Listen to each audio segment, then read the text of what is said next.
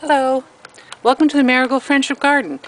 We're doing a workshop series as part of the Kanata Science Cafe Lifelong Learning YouTube videos. Today we're going to build a basic arbor. Now arbors are great in gardens because they help you train your vines. Grapevines, in this particular case, it's a wisteria vine. So the wisteria takes a while to establish itself. The first year it slept, the second year it crept, and last year it leapt right into the eaves. Not a good thing. So we decided to build an arbor to keep it away from the house. So first we make sure that we don't disturb too much of the root. About 10 inches out we dug a trench.